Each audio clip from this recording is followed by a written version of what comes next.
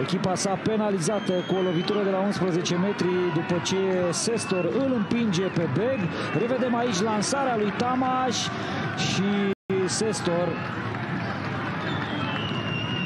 Da, îl împinge. E adevărat că și Beg uh, uh, exagerează în momentul căderii. Un duel inegal acolo între uriașul Sestor și uh, Julian Beg, un jucător uh, de talie mică, dar uh, Beg a fost uh, îndeajuns de convingător și a reușit să scoată o lovitură de la 11 metri pe care se pregătește să o execute Risto Radunovici, capitanul Astrei Giurgiu, Risto Radunovici își asumă responsabilitatea executării acestui penalti. Vă reamintesc etapa trecută.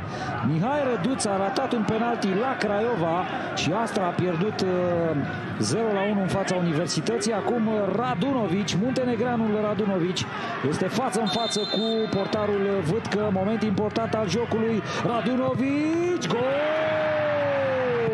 1 la 1 marchează Risto Radunovici.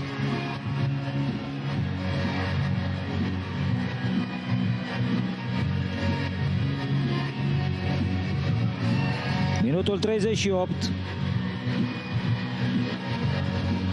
Astra revine după ce Radunovici execută cu siguranță penaltiul uh, obținut de Julian Beg.